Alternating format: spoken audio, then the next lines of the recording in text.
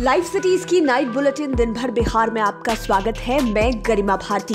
सबसे पहले आज की सुर्खियों पर एक नज़र। लालटेन जलाकर मोदी नीतीश पर बरसे लालू, कहा उनके प्रपंच को हम तोड़ेंगे। अपनी पुरानी जीप को खुद ड्राइव कर पटना की सड़कों पर निकल पड़े लालू यादव। तेजस्वी ने सीएम नीतीश से पूछा, पंद्रह साल में छिहत्तर घोटाले क्यों हुए? बिहार के राज्यपाल पहुँचे दिल्ली शिक्षा मंत्री धर्मेंद्र प्रधान से भी मिलेंगे। कल मिला बेस्ट वीसी का अवार्ड आज छिन गया पद। पाटलिपुत्र यूनिवर्सिटी के चार्ज से हटाए गए एसपी सिंह शराबबंदी पर घिरे नीतीश। भाजपा के इस नेता ने कानून वापस लेने की मांग की। सामूहिक अवकाश पर जा सकती है बिहार पुलिस। एक तरफा कार्रवाई पर है नाराज़। पटना में डॉक्टर की पत्नी की गोली मारकर हत्या। ब्यूटी पार्लर चलाती थी महिला। पंचायत चुनाव के आठवें चरण की वोटिंग समाप्त। छत्तीस जिलों में हुआ मतदान। बिहार की हवा हुई जहरीली। दिल्ली की राह पर चले ये शहर। अब खबरें विस्तार से। राजद सुप्रीमो लालू यादव करीब चार साल बाद आज पटना स्थित राजद कार्यालय पहुँचे। पार्टी के रजत जयंती वर्ष के अवसर पर आयोजित एक कार्यक्रम में लालू यादव ने छह टन के लालटेन का उद्घाटन किया। इस अवसर पर लालू प्रसाद यादव ने कहा, यह लालटेन तूफ़ान में भी नहीं बुझने वाला है, यह हेरिकेन लैंप है। उन्होंने कहा कि नीतीश के प्रपंच को हम तोड़ेंगे। कार्यक्रम में लालू ने पार्टी में महिलाओं को तरजीह देने की बात कही। उन्होंने कहा कि आगे से जहाँ भी सभा हो, महिलाओं को कुर्सी पर बिठाइए। अपने अलग अंदाज के लिए मशहूर लालू यादव आज पटना की सड़कों पर जीप चलाते दिखे। वह पिछले कई वर्षों से गंभीर रूप से बीमार चल रहे हैं। उन्हें दिल और किडनी की गंभीर बीमारी भी है। लेकिन सेहत से जुड़ी कोई परेशानी उन्हें जीप चलाने से नहीं रोक पाई। सफ़ेद लुंगी लपेटे हुए पुराने अंदाज में उन्होंने जीप ड्राइव की। बताया जा रहा है कि कल रात से ही लालू यादव जिद कर रहे थे कि उन्हें अपनी पुरानी जीप चलानी है। इसे चलाने को लेकर वह काफ़ी उतावले नज़र आ रहे थे। आपको बता दें कि यह लालू की पहली और कई साल पुरानी जीप है। इसे लालू यादव के पटना आने के बाद ठीक करवाया गया। इसमें दो ढाई लाख रुपए खर्च हुए। राजद कार्यालय में छह टन के लालटेन के उद्घाटन के मौके पर तेजस्वी यादव ने नीतीश सरकार पर हमला करते हुए कहा कि बिहार में बेरोजगारी का केंद्र बन गया है। प्रदेश में गरीबी, महँगाई और अपराध का ग्राफ बढ़ता ही जा रहा है। उन्होंने सरकारी योजनाओं में हो रही अनियमितता को लेकर भी सवाल पूछा। उन्होंने कहा कि 16 वर्षों में बिहार में तीस हज़ार करोड़ के छिहत्तर घोटाले आखिर क्यों हुए? इसके अलावा तेजस्वी ने शराबबंदी पर भी नीतीश कुमार को घेरा। उन्होंने कहा कि यह सरकार के भ्रष्टाचार निकम्मेपन और नाकामी की नाजीर बन चुकी है। उन्होंने कहा कि राजद ने कभी भी विचारधारा से समझौता नहीं किया। आज तो लोग जिधर मलाई देखते हैं, उधर ही चले जाते हैं। उन्होंने कहा कि स्थिति ऐसी हो गई है कि जो भी बिहार और देश की सत्ता के खिलाफ बोलेगा, उसे किसी न किसी रूप में फंसा दिया जाएगा।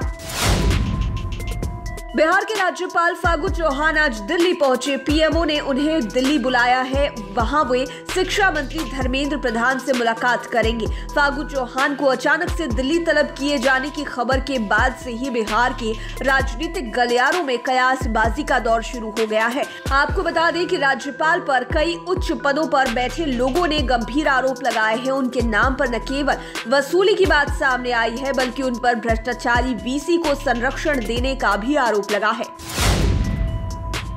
भ्रष्टाचार मामले में घिरे प्रोफेसर सुरेंद्र प्रताप सिंह पर गाज गिरी है। पाटलिपुत्र यूनिवर्सिटी के एडिशनल चार्ज से उन्हें हटा दिया गया है। राजभवन में बैठक के बाद यह फैसला लिया गया। बैठक में सीएम नीतीश कुमार भी शामिल रहे। एलएनएमयू के कुलपति प्रोफेसर सुरेंद्र प्रताप सिंह पर गलत ढंग से टेंडर देने और टेंडर में बंदर करने का आरोप लगा है। प्रोफेसर सुरेंद्र प्रताप पर यह आरोप मौलाना मजहरुल हक अरबी फारसी यूनिवर्सिटी के कुलपति प्रोफेसर मोहम्मद कुद्दुस ने लगाया है। उन्होंने राज्यपाल और सीएम को पत्र लिखकर कार्यकारी प्रभारी कुलपति प्रोफेसर सुरेंद्र प्रताप की भूमिका की जाँच की भी मांग की थी। आपको बता दें कि राज्यपाल फागू चौहान ने उन्हें सर्वश्रेष्ठ कुलपति के रूप में सम्मानित कल ही किया था। शराबबंदी कानून पर बिहार के सीएम राजग में ही घिर गए हैं भाजपा विधायक हरिभूषण ठाकुर। बचौल ने मुख्यमंत्री नीतीश कुमार से आग्रह किया है कि वे शराबबंदी कानून वापस ले लें, क्योंकि इससे अराजक स्थिति उत्पन्न हो गई है। उन्होंने कहा कि अगर प्रधानमंत्री नरेंद्र मोदी कृषि कानून वापस ले सकते हैं तो सीएम को भी शराबबंदी कानून को लेकर जिद नहीं करनी चाहिए। विधायक ने कहा कि युवाओं का बड़ा समूह तस्करी में संलग्न हो गया है। कुल मिलाकर यह कानून नई पीढ़ी को बचाने के बदले बर्बाद कर रहा है। वहीं इस मुद्दे पर विधायक प्रेम कुमार ने बचाव करते हुए कहा कि शराबबंदी का निर्णय सभी दलों ने मिलकर लिया था, इसलिए शराबबंदी कानून वापस लिए जाने का कोई सवाल ही नहीं है। मधुबनी के झंझारपुर कोर्ट में एडीजे अविनाश कुमार और सब इंस्पेक्टर के बीच विवाद थमने का नाम नहीं ले रहा है।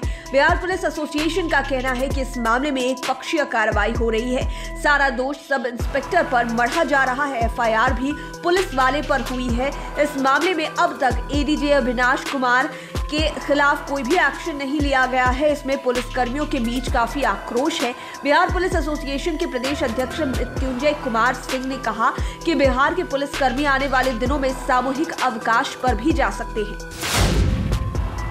पटना के नौबतपुर इलाके में एक डॉक्टर की पत्नी को अपराधियों ने गोली मार दी और उसकी हत्या कर दी। मृतक की पहचान पटना के दंत चिकित्सक डॉक्टर विश्वजीत चतुर्वेदी की पत्नी रिमझिम चतुर्वेदी के रूप में की गई है। रिमझिम चतुर्वेदी पटना के एस के पुरी में रहती थी। पास में ही वह अपना ब्यूटी पार्लर भी चलाती थी। मंगलवार की शाम किसी से बात करने के बाद वह अपने घर से निकली थी।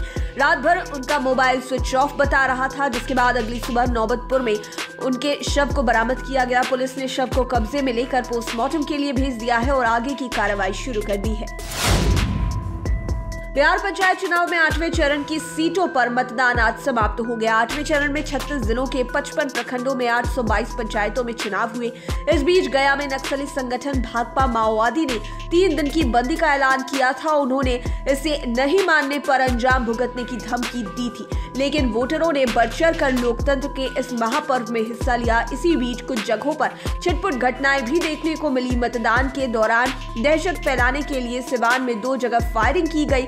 इसके पहले देर रात बक्सर के चौसा में भी दहशत फैलाने के लिए फायरिंग की गई। शेखपुरा के बरबीघा नगर परिषद के उपाध्यक्ष अन्नपूर्णा देवी के पुत्र सनी कुमार को फर्जी वोटिंग करने के आरोप में गिरफ़्तार कर लिया गया। बांका में एक मुखिया प्रत्याशी को एक लाख रुपए नकदी के साथ गिरफ़्तार किया गया है।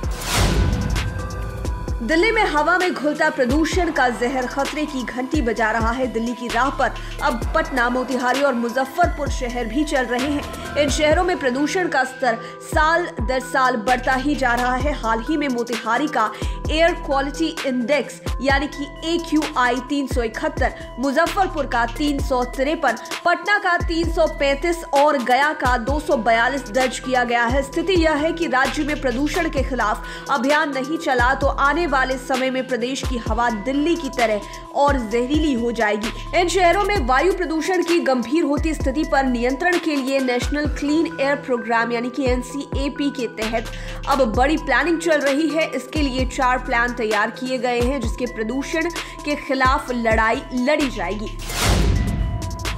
लाइव सिटीज़ की नाइट बुलेटिन में फ़िलहाल इतना ही। खबरों की दुनिया में बने रहने के लिए हमारे चैनल को सब्सक्राइब करें। वीडियो फेसबुक पर देख रहे हैं तो पेज को लाइक करें। साथ ही साथ हमें ट्विटर पर ज़रूर फॉलो करें। धन्यवाद।